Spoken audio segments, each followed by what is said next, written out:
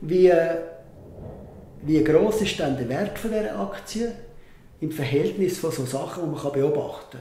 Wie zum Beispiel, wie viel Gewinn die Aktie macht. Kannst du dir das vorstellen? Also, wenn man ja. jede Aktie, was sie wert ist, ins Verhältnis setzen zu den Gewinn, die sie erwirtschaftet. Mhm.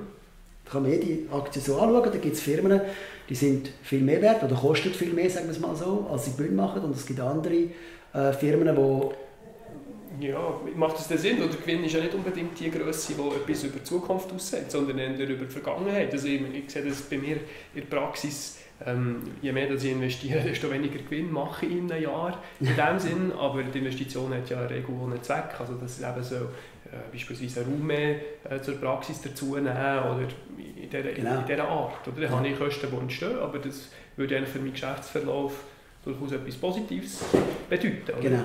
Ja, das ist absolut richtig. Also es kann durchaus sein, dass eine Firma, die sagt, ich investiere viel in die Zukunft, einen kleinen Gewinn hat, ja. obwohl sie eine hohe, eine hohe, viel kostet, weil halt viele sehen, hey, die investieren in die Zukunft, ja. die lohnt sich zu kaufen. Ja. Das ist absolut richtig. Das ist einfach eine, wiederum eine Größe, in dem Fall eine Grösse, muss man noch genau. weitere Grösse noch genau. Eine Grösse. Und sie hat wirklich ihre Probleme.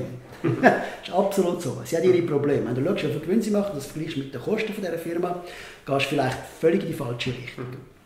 Mhm. Langfristig ist es aber so, dass der Wert von dieser Firma nicht kann langfristig weit weg sein vom Gewinn. Also irgendwann mal musst du, wenn du jetzt viel investiert hast, auch einen höheren Gewinn haben. Natürlich. Hörst du nicht mal auf investieren ja. und dann hast du auch einen höheren Gewinn, wenn du weniger Kosten hast. Mhm. Also langfristig muss eigentlich der Gewinn korrelieren, also quasi abhängen von den, von den, von den Kosten der Firma. Das muss langfristig eigentlich etwas miteinander zu tun haben. Ja. Kurzfristig kann sich aber ab, äh, ab, abändern. Darum kann man auch noch andere Grössen anschauen. Man kann sich sagen, eine Firma, die sehr gross ist, sollte mehr wert sein als eine, die klein ist. Und die Grösse kann man messen am Umsatz, was sie zum Beispiel machen. Mhm. Oder am investierten Kapital, oder wie viel, wie viel äh, Maschinen gehören ihnen, oder ja. quasi. Äh, wie viele Häuser haben sie, wie viele Immobilien, wie viele äh, wie viel auch Markenrecht haben sie, wo sie haben können aktivieren können, sie quasi als Assets bei auf der Bilanz sind.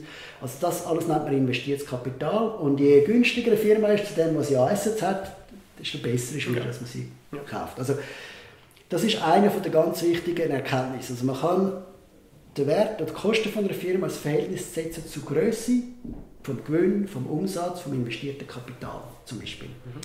Das ist extrem beliebt. Das erste nennt man es ähm, äh, das, äh, das Kurs-Gewinn-Verhältnis. Also ja. Kurs ist quasi Kosten, Kurs-Gewinn, KGV-Verhältnis. Das zweite ist das Kurs-Umsatz-Verhältnis. Und das dritte Verhältnis nennt man äh, Markt zu Buchwert. Mhm. Also wie viel ist quasi der Bücher von der Firma und wie viel ist wirklich dann an der Börse gezahlt für die ganze Firma. Also Market to Book auf Englisch oder Markt-Buchwert, äh, Price Earnings, äh, das ist das, das ähm, Kurs-Gewinn-Verhältnis. Mhm und dann auch äh, Sales Earnings, Price Sales nennt man es dann, äh, das Verhältnis zwischen dem Umsatz, Umsatz. und Kurs. Genau, Kurs. Also das sind so wichtige Verhältnisse, wo du kannst schauen kannst, ist der Wert von der Kosten von der Firma gerechtfertigt von der Größe, die sie hat. Mhm. Auch Dividenden, die du bekommst zum Beispiel.